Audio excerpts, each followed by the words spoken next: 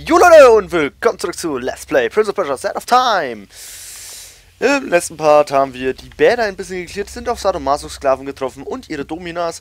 Und jetzt, klar, direkt weiter geht's hier oben und da oben glitzert ein Schwert irgendwo da oben, wenn ich mal hinkommen könnte. Ähm, ja, Fahrer, wenn du mal kurz in meine Richtung gucken könntest, in die Kamerarichtung, dann sehen wir auch zwei leuchtende, ja? Ähm... Auf jeden Fall da oben liegt ein neues Schwert. Mit dem wir dann bestimmt irgendeine andere Sache kaputt hauen können, wir vorher nicht kaputt hauen können, wie jetzt zum Beispiel.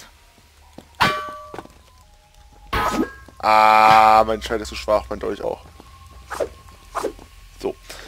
Wir müssen jetzt auf jeden Fall, und deswegen werde ich diesmal mich ausrichten, in die Richtung hochklettern, um was zu machen. Und ich sag's mal vorab. Ich habe das hier schon alles aufgenommen gehabt. Mal. Drei Parts insgesamt aufgenommen gehabt. Ist ebenfalls in der Aufnahmesession mit Assassin's Creed gewesen, wo dann halt drei verkackten Parts dabei sind, die nicht erwähnenswerten Parts.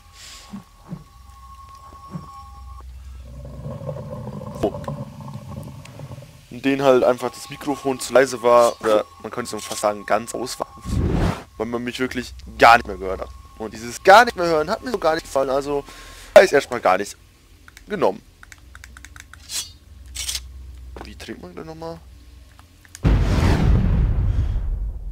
Okay, so tut man auf jeden Fall die Zeit benutzen.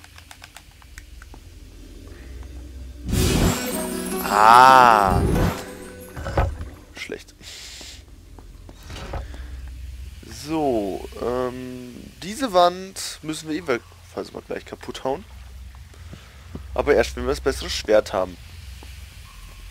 Mit dem wir die Stärke Rustans, äh, oder wie man heißt. Na egal. Da hoch. Und eigentlich wiederholen sich diese Kletterpassagen sehr. Sie sind ähnlich, aber irgendwie doch immer anders.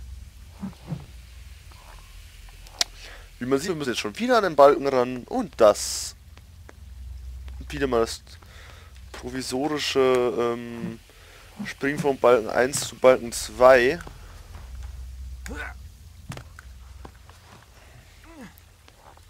In Forgotten Sands, der Teil, der hier nachkommt, den ich ja dann auch spielen werde nach dem Part Teil hier, ähm, kommt, äh, ist es mit dem von Stange zu Stange hüpfen echt genial gemacht. Aber das werden wir sehen, wenn es dann soweit ist.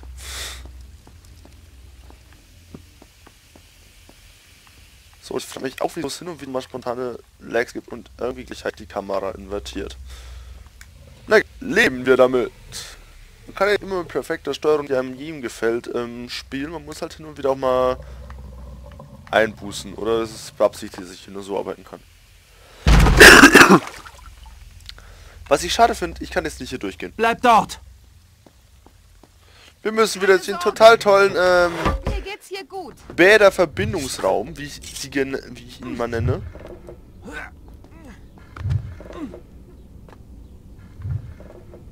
Wow. Und da da da da da da da da. Schlecht. Und an, Anhieb, komm. Und, und, und. Oh, das ist nicht der hier ernst. Und, nein! Ah!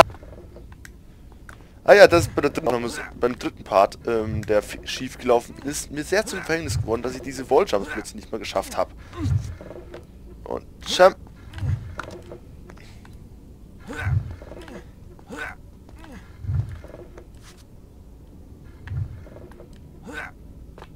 Au!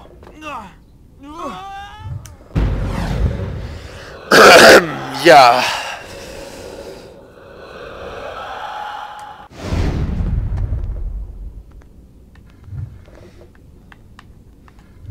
Kameramann hier nicht bewegen kann, nervt mich auch ein bisschen.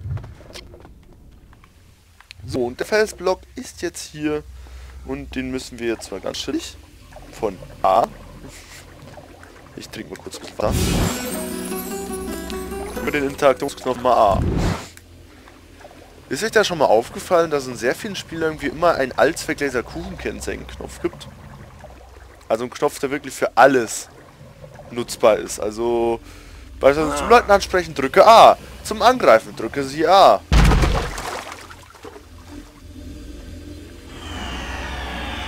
Mal kurz im Speichern, damit wir das nicht nochmal machen müssen.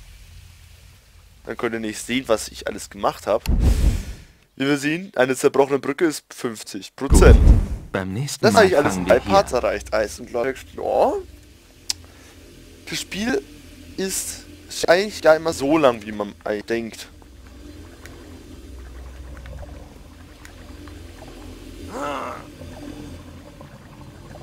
Joa.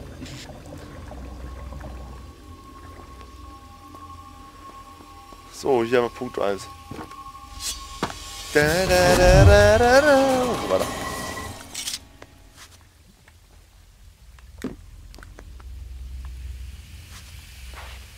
Da, ist der epische Moment zu sehen.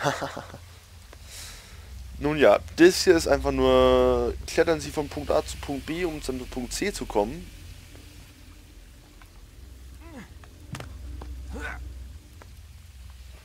Bei mir bei der Aufnahmesession lang gedauert.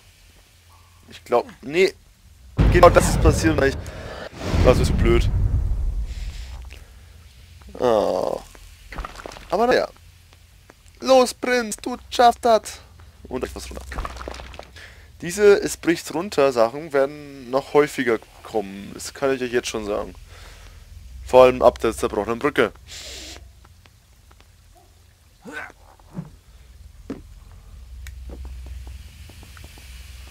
Aber dieses drei Parts verloren gehen hat natürlich den Vorteil, dass ich jetzt schon sehr viel weiß. Weil da kamen sehr viele Rätsel.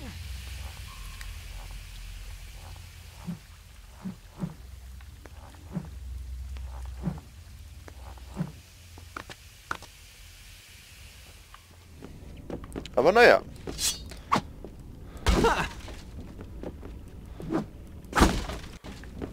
Aber naja. Ah, ich wiederhole mich. Also. Ich frage mich immer noch.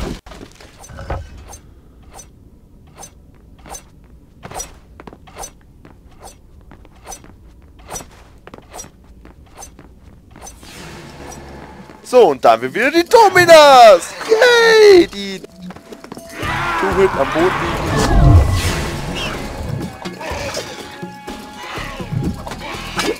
Die Dominas und ihre Sklaven.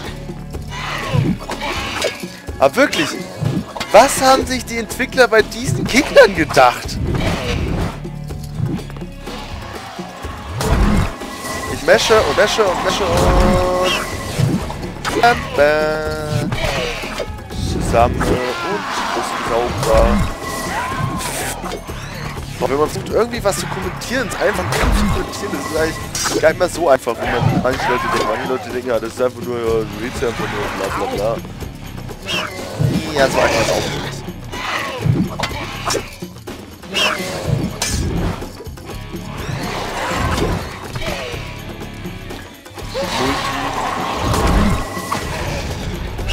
Fuck. Egal. Gut, erwischt. Und da drüber hüpf und raus. So. Insgesamt sind die Kämpfe schon einfach, aber denk mal, welche Gegner kommen. Ich sag mal so, es kommen später wir kommen. Die sind so scheiße, ey. Bei denen kann ich einfach nicht überlaufen, da muss man nicht den anderen Trick nutzen. Und zwar den...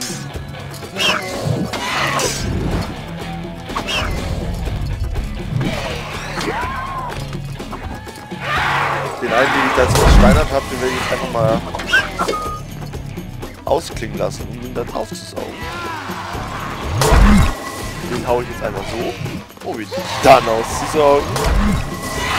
Und da schon wir jetzt zwei Gegner.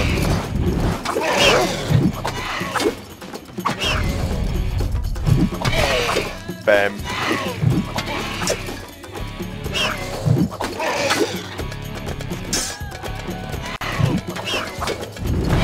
Und saug aus.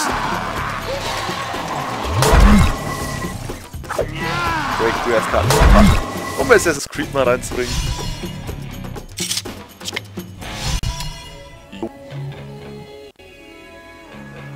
Also, mal gucken auf die Uhr. Na, noch 10 Minuten. Dann schauen wir uns mal die Vision des Hauses an.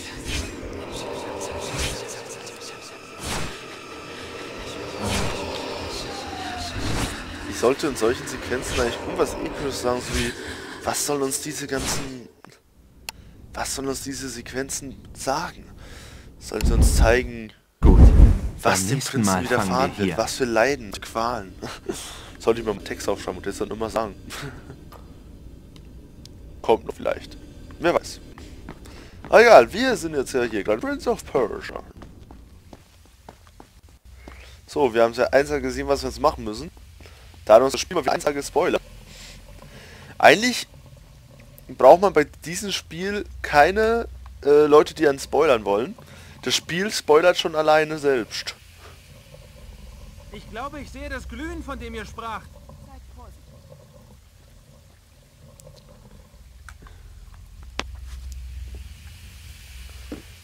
Also.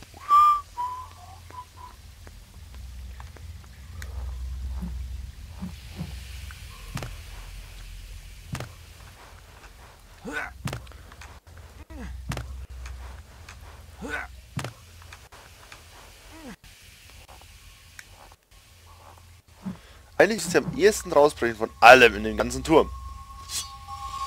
Äh.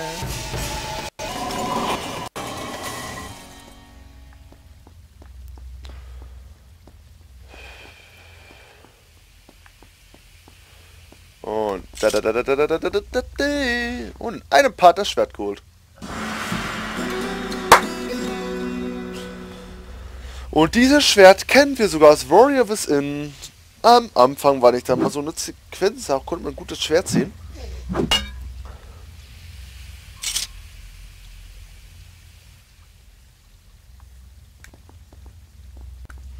So, mit diesem neuen Schwert, das außerdem sehr geil aussieht.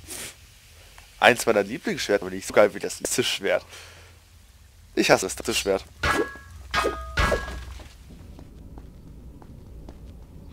Dup, di, dup. Oh, eine Wand! Wäre jetzt irgendwie gleich besser gewesen, wenn ich jetzt hier so... Oh, eine Wand! Oh, eine Wand! Eine Wand! Putsch kaputt. Oh. Ähm. Aber Moment, warte mal kurz. Egal. Komm, wo sind jetzt meine tollen, schönen 27 Jungfrauen? Oder waren es 28? Ach, nehmen wir lieber 42. Äh, okay, schiebt mal wieder einen Trip. Ah, ah, jetzt, schiebt er wieder einen Trip. Ich krieg auch mein kräftiges Wasser. Ah, Trip. Uah. Oh, eine Wand. Eine Wand. Äh, der Wand. Aber... War da nicht noch irgendwas? Egal. Oh, eine Wand.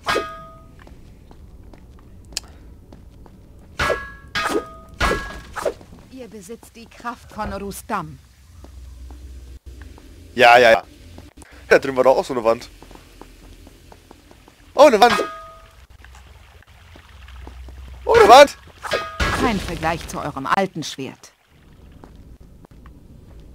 Natürlich, weil... Wo sind wir? Man sagt, dass der Palast auf den Ruinen eines Älteren erbaut wurde. Aber ich hielt das für eine Legende. Ja. Rein zufällig auf den Ruinen eines anderen. Hm, Nee. Sieht eher nach Katakomben aus. Katakomben-Ruinenhöhlen.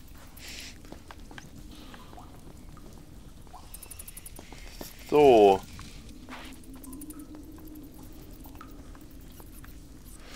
Ich sag mal so, das hier sieht sehr optischen Täuschung aus. Man könnte echt jetzt meinen, wenn ich hier runter, dann könnte ich einfach springen. Ist nicht so. Man muss diesen Fettblock hier nehmen. Danke, dass du Entwicklung stehst. Ich gehe schon. Ah. Boah, könnt jetzt bitte mal da lang gehen, Vibe? Boah, ich hasse NPCs. Die sind immer so generisch und NPC-mäßig.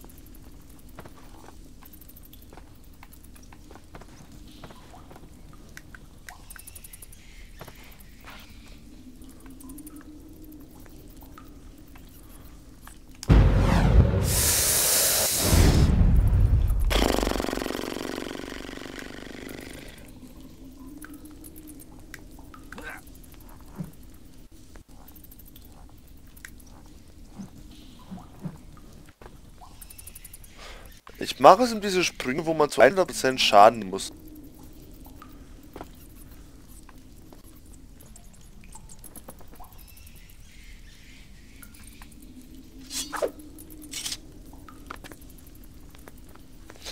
Irgendwie sehr viele Stellen, genau hier, wäre dieses Zerbröckeln eigentlich das Realistische. Das wäre realistisch, wenn jetzt hier was zerbröckeln würde, weil es alt ist. Da, wo alles neu ist, halbwegs neu natürlich. Wir wissen ja nicht, wie alt dieser Palast schon insgesamt ist. Aber eindeutig, dieser Palast ist ja alt. Also wirklich alt, alt, alt, alt, alt.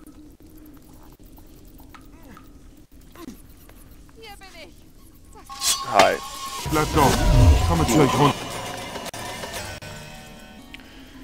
Hier muss man sich umgucken. Tot. Weil umgucken eben.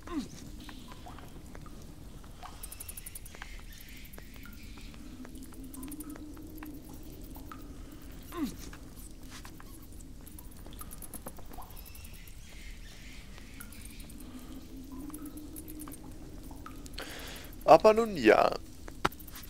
Da seid ihr ja. Hi.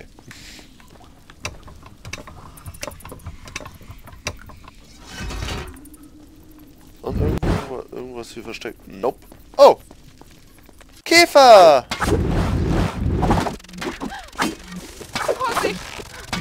Oh, das sind die einfachsten Gegner. Die sind hier da und einfach nur Button mashen. Wenn die einen verletzen, die machen fast Schaden mehr. Sieht man doch da oben. Ich fast kein Leben verloren. Ich hatte schon vorher Leben verloren wegen dem Sturz. Solche Stellen hasse ich außerdem, wie schon gesagt, wo man runterfällt und unbedingt Schaden nehmen muss. Ein Spalt.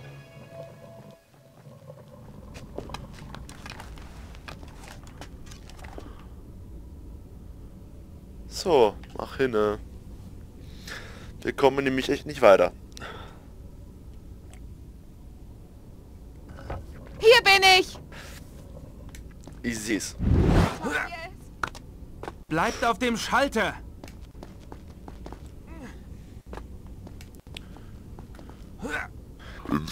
Fieber den Dolch nicht bräuchte, dann würde es jetzt genau jetzt Ja, vom Schiff runtergehen. Dass sie vor mir... Na, okay, das war irgendwie... Bei der anderen Aufnahme ist es genauso, dass ich da einfach nichts machen konnte, weil es irgendwie Sequenz. So.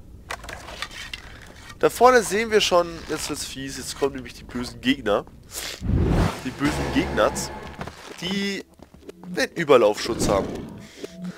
Der Überlaufschutz dieses Jahrtausends.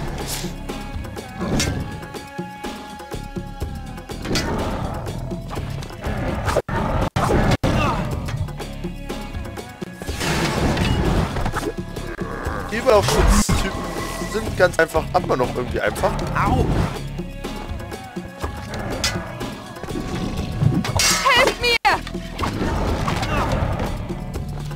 Das müssen wir wahrscheinlich nochmal neu anfangen.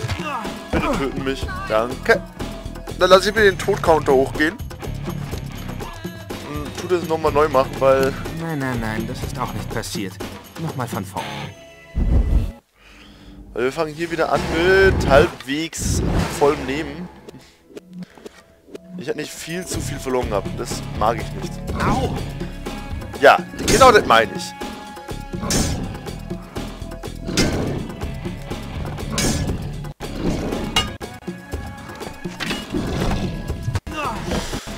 Boah, ey, der regt auf! Ich hasse die blauen Gegner.